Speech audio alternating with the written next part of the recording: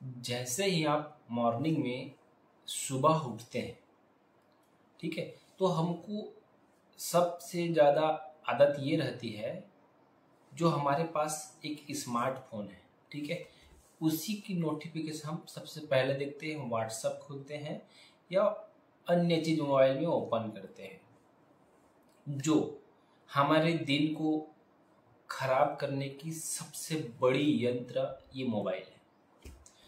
अगर लाइफ में कुछ भी चीज़ अचीवमेंट लेना है, ठीक है तो आपको सुबह दिन की जो शुरुआत होती है, इसको अच्छे से करना है। जैसे आप, आपकी आँख खुली, अलार्म सेट किए रहते हैं पाँच बजे, कोई चार बजे, ठीक है, जैसे आप उठते हैं ना तो आप हस्त की दर्शन कीजिए, ठीक है, और एक मंत्र बोलिए क्राग्र वसते लक्ष्मी कर मध्य सरस्वती। कर मूले तो गोविंदम, प्रभाते कर दर्शनम। इस प्रकार आप मंत्र को उच्चारण करेंगे और अपने हथेलियों को एक दूसरे से रगड़ेंगे। ठीक है? ये जब तक थोड़ा सा हीट ना हो जाए, गर्म ना हो जाए। जितना ज़्यादा हो सके, उसके बाद अपनी आँख से इसको मतलब चेहरे में, ठीक है, करना है।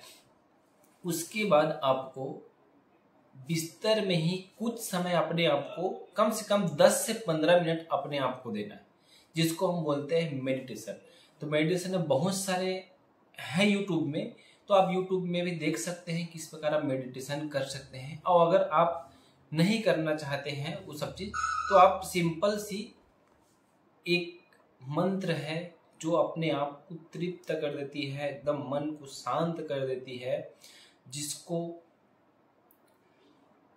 हर एक चीज़ का अर्थ बताया गया है। मतलब उस शब्द के बगैर किसी भी चीज़ की पूजा नहीं होती है, भगवान की पूजा नहीं होती, वो है ओम। ठीक है?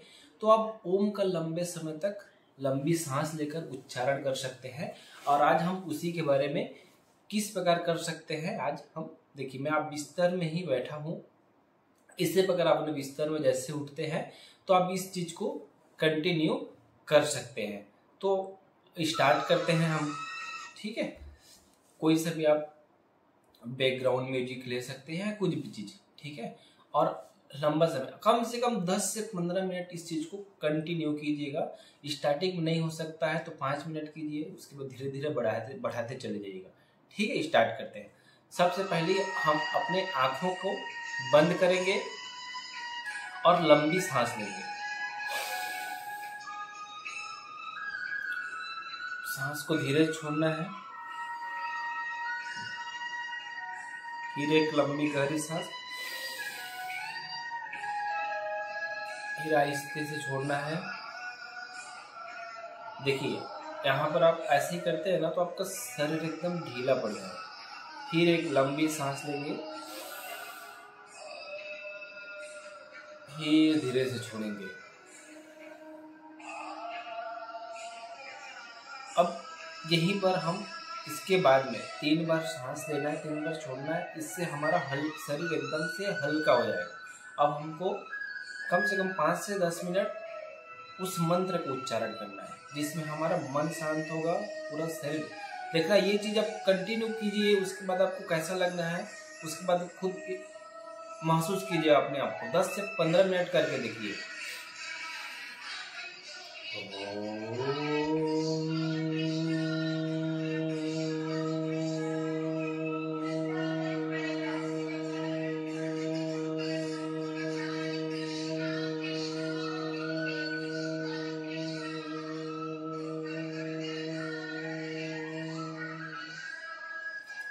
इसमें हम अपने रीढ़ की हड्डी को एकदम सीधी रखेंगे और हाथ को इस प्रकार रखेंगे अपने पैरों के नीचे, ठीक है?